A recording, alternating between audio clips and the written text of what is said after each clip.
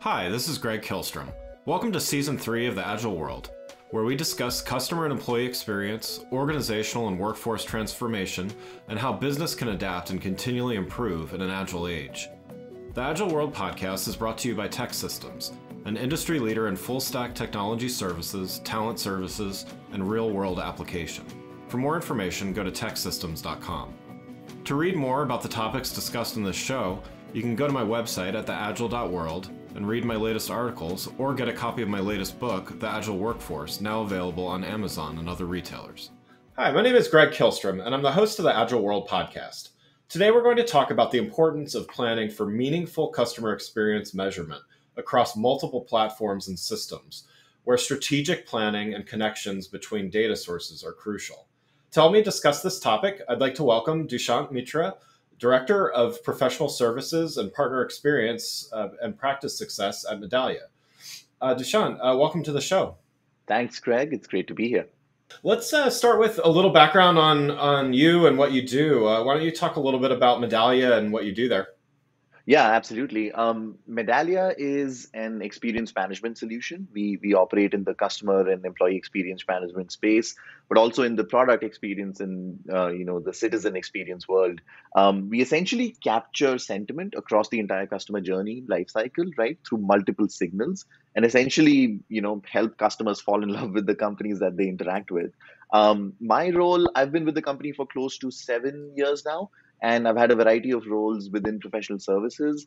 As of now, I'm focused on our partner practice. I help our various partner organizations in helping them build successful Medallia practices within their organizations and also in building joint solutions with them. Great. Well, yeah, I'm, I'm definitely a fan of Medallia. I've had uh, many customers over the years use use various products, so I'm glad to glad awesome. to have you on the show. Yeah. Yeah. Uh, so let's let's talk about that that critical task of customer experience measurement. It's something that mm-hmm. I feel uh, strongly about, and and it's it's a it's a tough one to crack sometimes. But yeah. Um, yeah. you know, let's talk about some of the challenges and opportunities that arise. Um, so, as we know, customer experience doesn't just occur on a single channel. It happens across many channels, platforms, online, offline, pretty much every which way you can imagine. What what kind of challenges does this create with companies that are trying to measure CX? Yeah, that's a that's a really good question and a great point to start with, right? Um, today's world does include enabling multiple channels or or signals, as we call them. Um, a common challenge that we see our customers face is that they really have to put together a complex technology stack almost you know to to implement all of these channels right? You of course need your your crm solution your point of sale erp etc but then there's billing invoicing e-commerce social contact center digital. It's a it's a long list right? So yeah. today's customers interact with companies in a wide variety of ways right? And they the companies themselves have to constantly evolve or or they have to stay agile um, to keep up with these changing channels, right? Years ago, your customer would write you letters. Today, they tweet at you. They talk about you on Facebook. Um, they've even started leaving video reviews, right? So the landscape is constantly changing. So that I think is the primary challenge, enabling these channels. Um, once you do that, you also have to ensure you have a consistent experience, irrespective of what the channel is, right? If I'm a customer and I walk into a store and I have a great experience with a retailer, I want that same great experience when I interact with them over the contact center as well, right? If I don't, that will not fly.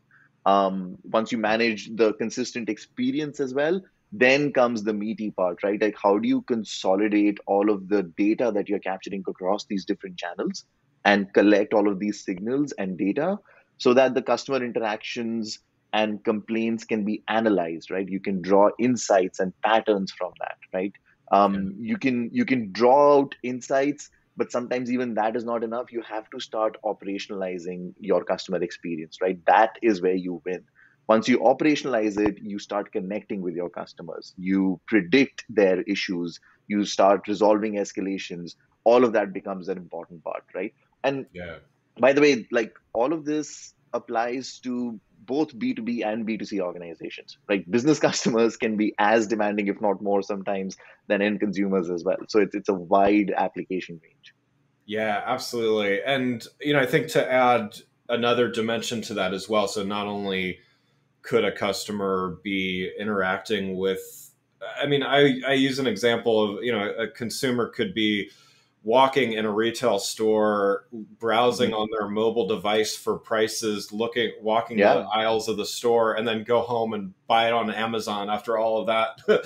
in the you know exactly all that happens, and so they're you know they're not only are they concurrently on multiple channels and devices during a stage in the journey, but you know now let's take it a step further and say across the entire journey you also have to piece all those things together as well. Um, yeah. You know, what are what are some of the things that organizations need to keep in mind when attempting to do that as well? It it all I think it all starts with um, you know the right design of the actual customer journey itself. Right? It it has to be done from the customer's perspective.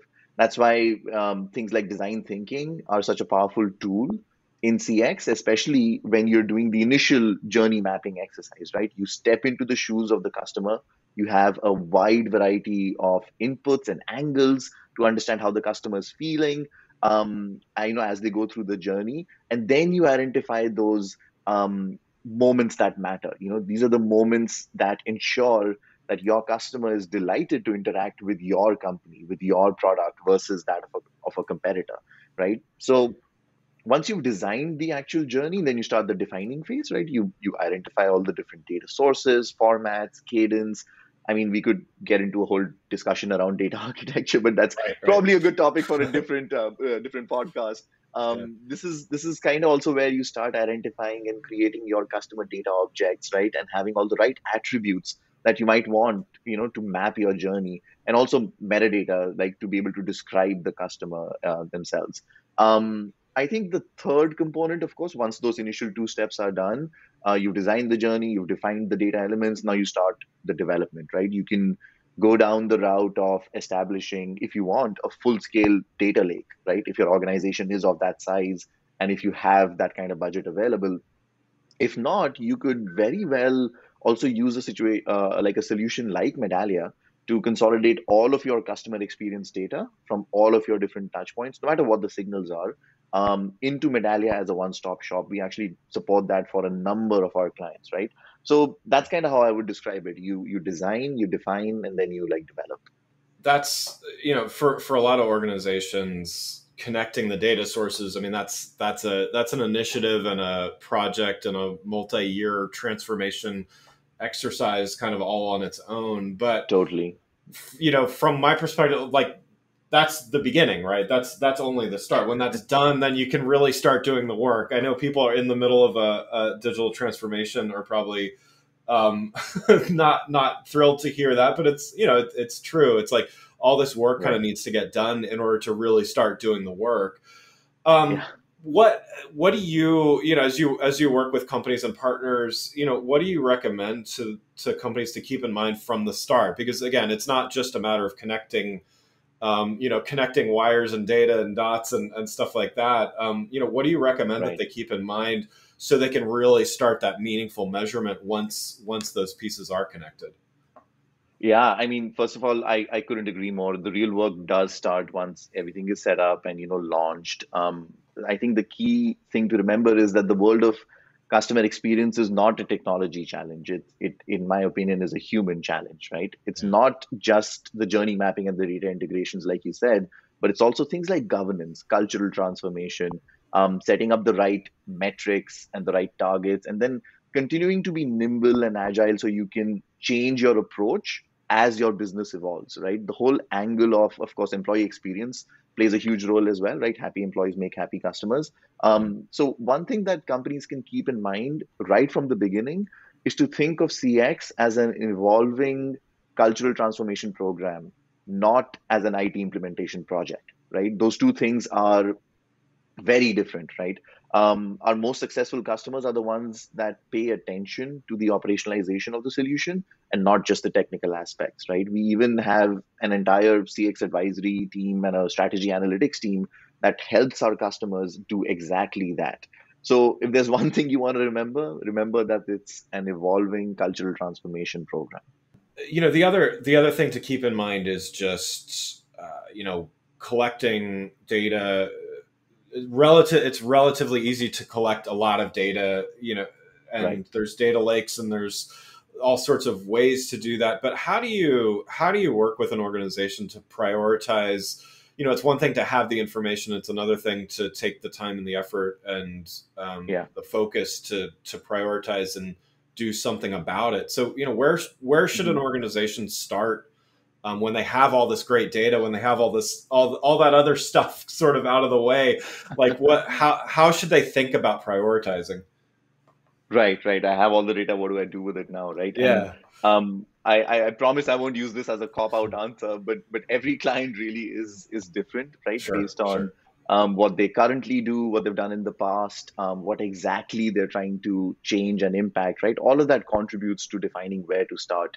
Um, I can run through a few examples. Like we've seen customers pick transactional touch points, for example, that have the largest volume of interactions, right? As a and use that as a starting point. So, you know, so that they can maximize the impact. While others might want to start really small and sort of have the approach of let me pilot this and see how it goes, right? Um, some companies want to start with wide relationship programs to try and understand broad CX and brand perspectives, while others might want to start with a big bang. We obviously have clients that start with the whole I'm going to capture 20 signals across 15 different uh, journey touch points, right? So in reality, it does vary a lot, but the key is to find that approach that works for you and critically for your organization's um, change appetite. I think that's very important, right? You don't want to start so small that there's no change noticeable. And you also don't want to start so large that all of your employees are tired of all the changes that are happening, right? So identify what works for your situation and then again be open to expanding and evolving in the future. That's what will make your CX program a huge success. Yeah, I like that. And and one follow up to that is the the how about the teams that that you've seen that have that have made this successful? Is it uh, you know it- how how many teams across an organization? How you know how diverse? I guess as far as discipline should Mhm. should an organization be thinking when they're when they're planning something like this? in our in our most largest complex um, clients, we've usually seen a mix of a centralized governance model or maybe a, a distributed governance model, right? You always need to identify an application owner, a solution owner, like someone who is giving that guidance of how this program should evolve. And then you usually want to develop champions between your different regions or business units, people who are necessarily not in customer experience, but are tied to the success of the program. I think having that sort of a split really helps. And then as far as the the measurements themselves, um, I've written a fair amount Mhm. about this as well, but you know, there's there's a lot of the kind of go to customer experience measurements, whether it's NPS or on the employee side ENPS or CSAT. CES. There's you know, there's these standards that are that are used, um, and I th- I think despite some limitations, I think they have their place. But you know, what what's the downside of of using those either? Not even necessarily exclusively, but using those as the primary measurement um, with with CX and and you know what what have you seen that's that's worked well? It's it's true that we have so many options, right? We have so many metrics that you can follow, and you can you can often get a little lost and you know miss the forest from the trees when when you do something like that. Um, one downside of being over obsessed around metrics is um, is score watching, right? That can be a huge downside. Um, like I said, CX is really a cultural transformation project, but you have to watch out for your employees and even your leadership um, from becoming score watchers, right? Or target chasers, right? That is not the direction in which you want your culture to Yeah. Um, you have to remember that um, the metric itself is kind of like the car you're driving. It's not the destination that you want to go to, right? The destination is more things like customer centricity, right? Having a culture of customer delight and ensuring that you're developing empathy and understanding towards your customers' needs so that you can you can provide them a better experience. Um, how we combat this regularly is we actually apply a number of technologies to understand the qualitative aspects of the experience as well and not just the quantitative right so it's not just the score that your customer or your employee gives you in a survey it's also analyzing the text that they leave in a comment right the tone of their voice when they call into your contact center and you're analyzing their voice recording, right? Even the visual cues that they drop when they submit a feedback through video. We use our technology to analyze these text submissions, audio recordings, and even video playback as well. It's pretty cool stuff. That's great. Yeah, I I strongly believe that it's it, it takes a lot of different types of metrics to right. to do that and, and some of those are you know what what you're saying the the extra the customer facing and then there's also the the product side of things too right so like how is a product performing how are processes being um, some of that comes into cultural stuff like how are processes improved and and even um, you know developed uh, within an organization as well so definitely it, I, I like that you're you're thinking that that holistic way there yeah, yeah, that's actually a great point. When you actually end up doing the data analysis, your customer might answer maybe five, ten questions in a survey. You don't want to give them a 50 question survey, right? right. Um, but you also want to capture those different operational metrics, right? Uh, was the delivery on time? Was the supply chain healthy? um, what was the status of the footfall in the retail store like those kind of metrics really are the ones that add a lot of color to your overall painting that you're trying to paint in trying to understand how your customer is doing yeah yeah well and i think also the there's there's value in there's value in all of it right so but there's mm-hmm. value mm-hmm. in the real-time insights that you're able to get that you know i think having done a bit in the in the behavioral side of things as well, like the the biases that we have, you know, so recency and anchoring and yeah. all the, you know, it's like we're we're either biased by the first thing we saw or the last thing we saw or the you know right. something some major momentous thing in in between, but um, the, those real time insights that are gathered like on the spot are able to highlight things where man we're lucky that they were the thing they remembered was a good one, but they had a terrible experience all the way at, you know towards the beginning of that so right, um, right. how are you know how are you seeing organizations kind of deal with the the real time versus the you know kind of after the fact surveys i think it completely depends on the extent of the the maturity of the technology systems right that becomes yeah. um, an important component here so like i said when you start a customer experience program there's obviously the people angle, the actual survey, the customer angle, but also the technology angle. So you have to try and identify opportunities to try and make your data exchanges real time, right? As accurate as possible, hopefully in the same overall data architectural framework so that you're understanding all these different systems because they'll be talking a different language, but you need to like consolidate across all of them. Um, yeah. The airline industry is actually a really good example where airlines are trying to try and get consistent customer experience data across in real time across your entire say flying experience right? Right from when you um, look for a flight and book one to when you check in you drop your bags you know you board the airplane and then your in-flight experience as well. Um, like across that entire landscape a lot of airline companies are trying to get more real-time data so that they can um, resolve issues and recover potential you know bad customer situations in real time as well. It's a it's a really exciting space. That's that's really great because i mean there's there's almost nothing like traveling to you know it's it's a high stress um, time sensitive um, yeah. you know transaction yeah. and and all that stuff. So that's yeah that's that's really especially these days right? Like it, it's become a lot more sensitive these days as well. Well um, mm-hmm. one last question before we wrap up here. Um, so just as doing CX measurement well takes a lot of coordination between platforms. Um, what you do in your uh, joint solution development efforts with your partners takes coordination across teams and their solutions. Can you talk a little bit yeah. about that and, and how it helps your end customers achieve better results? Yeah, I'd love to. This is something I'm, I'm actually really excited about. Um, as part of my current role, I'm leading an effort to try and identify, design, and help build joint solutions with our partners, right? And these partners include the largest consulting firms, systems integrators, there's a bunch of other enterprise grade software solutions as well, and also boutique advisory firms and market research firms also. Um, so, what we basically do in joint solutions is the whole one plus one is equal to three. Um, no, we're not bad at math. What that basically means is that we identify something that a partner is really good at, right? And then we combine it with our powerful technology to create a brand new go to market vehicle that can be custom designed to solve for very complex and specific use cases.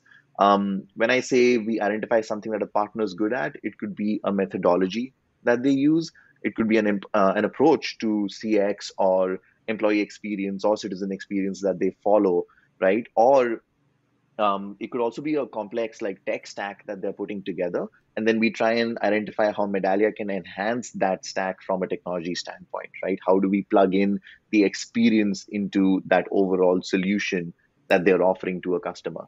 Um, so the, the the combined power of these ideas from the best consulting research and tech firms in the world with our analytical and signal capturing solutions has uh, created some you know very interesting ideas and it solves some very interesting problems for our clients.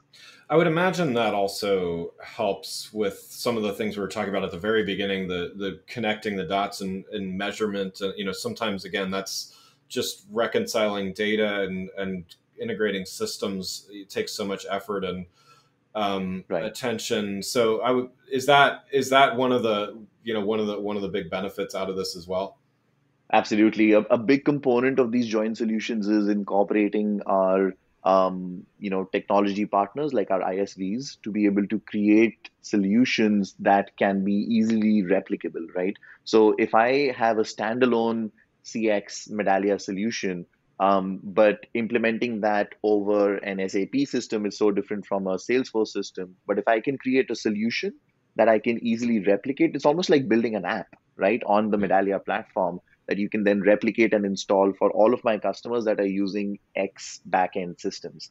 And so it standardizes the process of that implementation. It increases your time to value because you accelerate your value realization. And it also actually makes it a lot safer, especially when you standardize these technology integrations. Um, data security, data cleanliness, all of those things are incorporated in the design so you don't you don't fall out of line or fall out of your lane too much when dealing with sensitive customer data as well well uh, thanks so much for joining the show um, for those listening what's the best way for them to keep up with what you're doing I, I, would, I would say LinkedIn is probably the best way. Well, I mean, sadly, I don't have a podcast of my own, not yet. so, you know, feel free to look me up on LinkedIn. I'd love to connect, um, chat more, and exchange ideas. Well, again, I'd like to thank Dushyant uh, Mitra for a director of uh, professional services, partner experience, and practice success at Medallia for joining the show. Uh, thanks again for listening to the Agile World with Greg Kihlstrom. See you next week. Thanks again for listening to the Agile World podcast brought to you by TEKsystems. I'm your host, Greg Kihlstrom. If you enjoyed the show, please take a minute to subscribe on your podcast channel of choice and leave us a rating so that others can find the show more easily. You can learn more and get a copy of my latest book, The Agile Workforce, from my website at theagile.world.